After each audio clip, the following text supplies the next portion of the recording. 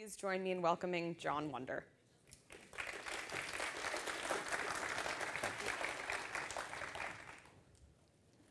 All right, thanks for that introduction, Katie. Uh, I'm really excited to be talking about attack sightings here at ATT&CKcon especially because it was at ATT&CKcon last year where I actually had some of the first conversations about sightings with some of you that are here today. And a lot of that conversation inspired what you're seeing up here. We, we kind of took those notes. And so when I talk about sightings today, just keep in mind that that's, that's kind of as a result of you talking about it. Um, I think it also addresses a lot of the things that we heard today, a lot of the needs that we heard today, the need to be able to prioritize defenses and the need to be able to really make our threat intelligence actionable. And so out of all of that, we've kind of collected together that, this idea for attack sightings. But before I talk about sightings, I really want to talk about threat intelligence reports. Um, threat intelligence reports are great. Um, they can tell you about new and interesting techniques. They can tell you about tools. They can tell you about what different threat actors are up to. Threat intelligence reports are really great at writing up, you know, kind of finalized um, really detailed information about what actors are doing and what um, tools are doing and what te new techniques are out there. That said, threat intelligence reports maybe are not the best way to answer every single question we have, right? Threat intelligence reports are one form of threat intelligence, but there's other forms of threat intelligence as well. So threat intelligence reports are, you know, for example, they take a long time to write. Um, you have to have an analyst write them. Um, you have to have them usually go through like legal, your marketing teams. You have to have them go through publications and be produced, and then they have to get out there, and then people have to read them. Um, so we see like a number of threat intelligence reports, obviously. There's a lot of them. But scale-wise, there's not as many threat intelligence reports as there are incidents out there or as there are events out there.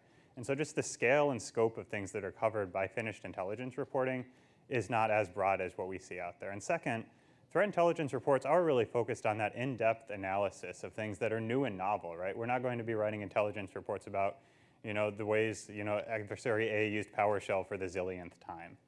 Uh, and what that means is threat intelligence reports are great. They help us inform attack. Like attack wouldn't be what it is without threat intelligence reports.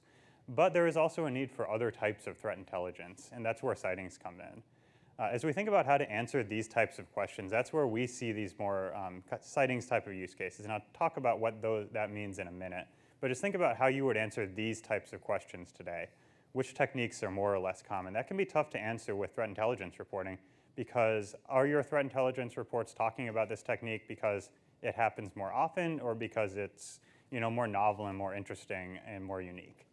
Um, second, how do techniques tend to be used together or in conjunction with each other? This is something that have a great set of raw data would really help us answer. How do we actually see things when they happen on a box?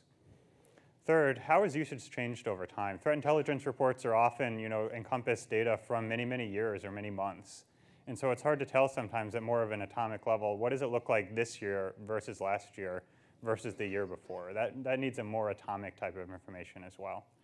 And lastly, how does prevalence differ by sector or, or things like geographic area? How do we more see look kind of at an in-depth level of at exactly what we're seeing here. Again, threat, threat intelligence reports talk about this. They talk about geographic area and sector a lot, but just the breadth and depth of that report, the breadth of that reporting is not as big as it could be if you look at the scope of incidents and events that happen out in the world.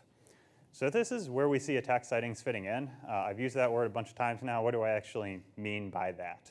So when I think about attack sightings, I think about observations that provide evidence that an attack technique is in use wouldn't that be great to know, to have evidence when an attack technique is, is in use without having to go read all of these threat intelligence reports necessarily? Um, we can think of a couple different types of threat intelligence reports as well, or sorry, of sightings as well. So direct technique sightings. So if you think about the different ways you might have evidence of a attack technique in use, one way is you're looking at your logs uh, and you're digging in there and you're seeing actions happen on your systems and networks that directly correspond to an attack technique. So for example, if I'm looking at credential dumping and I see, for example, a memory read of lsass.exe, that is direct evidence that credential dumping has occurred on that machine. That's really great evidence that that technique happened.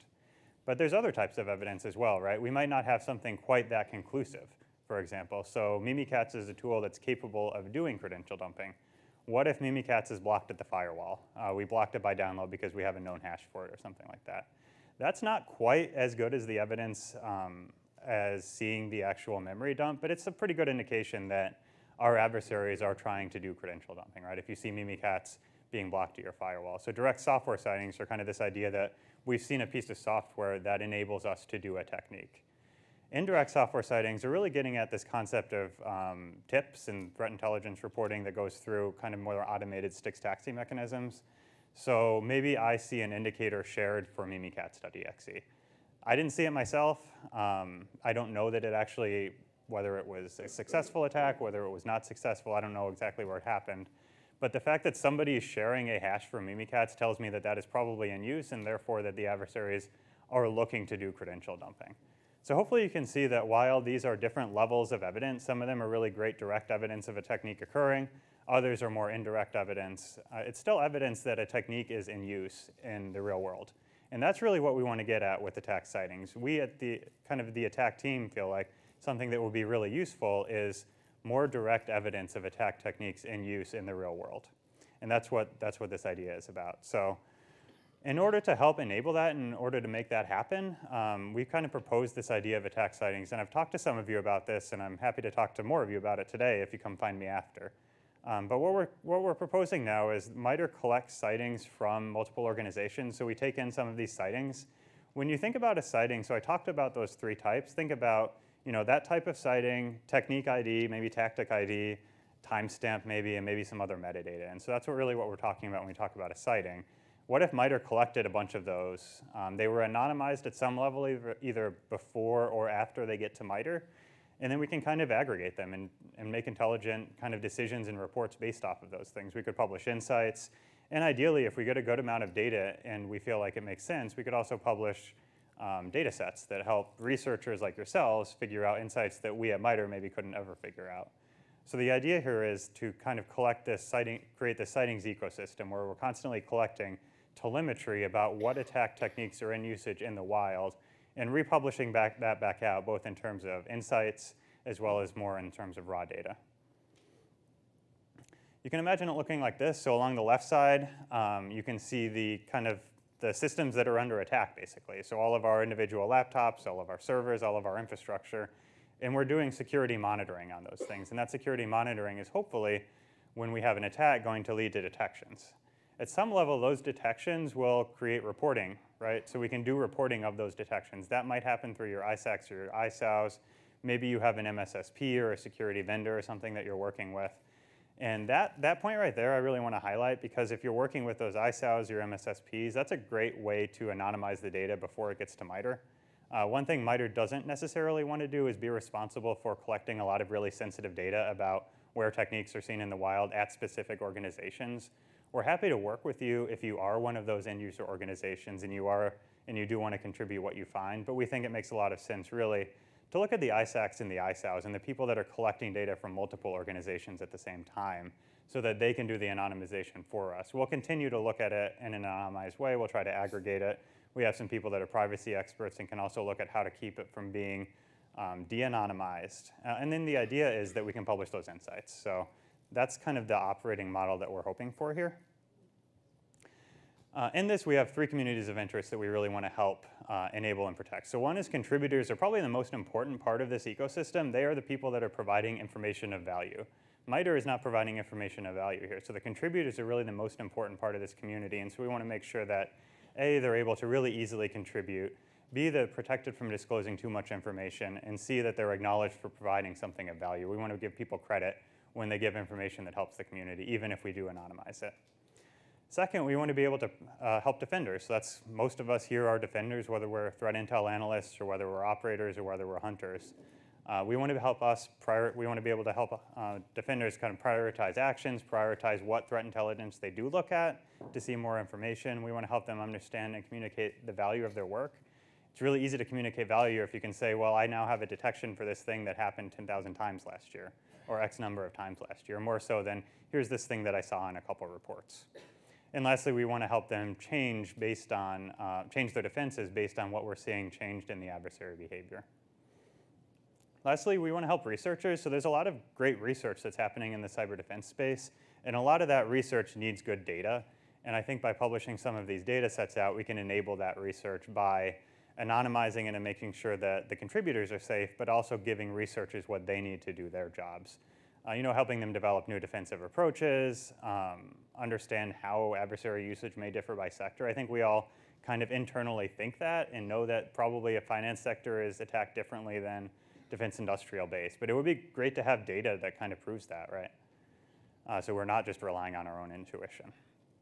Uh, and lastly, to do things that I can't even think of. I needed three bullets on each of these columns, so I need some researchers to come up with a third item here. so how can you contribute? Uh, we wanted to make it easy as possible. First is email us at attack at MITRE.org or find me after the break or find any MITRE team member. We're happy to hook you up. We want to make this as easy as possible to contribute. Um, you'll need to generate some data. We have a data format that we defined. It's kind of a pretty straightforward JSON format. You can create that yourself. Um, MISP uh, was great enough. If you know the MISP developers, you tell them an idea and they have it developed within the next day or two. Uh, and that was the case here. We talked to them about sightings, and as of now, you can use MISP to export sightings out and then contribute that back to MITRE. Or if you have something else you're using, if you're using STIX or if you're using CSV files, send us whatever you have, um, and we'll take it. We're basically willing to, we care about the data. We don't care necessarily what format you get us the data in. Um, and then send it to us. I did want to call out some related work here. Um, first of all, Red Canary released a threat detection report last year, uh, and if Twitter can be um, trusted, I guess they're releasing another one soon. Uh, that talked about the top 10 techniques that they found in the wild. Uh, and they also gave great tips on how to find those techniques when you see them. Second, uh, Carl mentioned the CrowdStrike Overwatch reporting before. They've released two reports with two different heat maps. One thing I thought they really did that made a lot of sense in their second report, the mid-year report that they just released recently, was they talked about changes from the 2018 report to the 2019 mid-year report, and also where you maybe should not take some of those changes as seriously because there might be issues in some of the data. So they thought, we're pretty thoughtful about what changes actually mean, and maybe some of the changes aren't as significant as they seem. Uh, and lastly, VERIS. So VERIS does a lot of like incident metadata type of work. Um, the demographics of incidents, we think this is complementary to that. So current status is we're collecting sightings under NDA. Um, you don't necessarily have to sign an NDA to contribute sightings. We find that many organizations want to just to help protect themselves with the goal of having more contributions over this year um, and eventually move towards having those insights being able to be published. All right, that's what I got. Thank you. Here's a URL you can go to get involved. Email us, come find me after, uh, and I'm happy to take questions. So what we might do is we were right on time, actually. You finished uh, right on the dot. Thank you for that, John. So sure. John will be hanging out at the reception, I believe, tonight as well, uh, and tomorrow. So uh, please come talk to him. Uh, we want your data, and we'll anonymize it. So cool. thank you so much, John.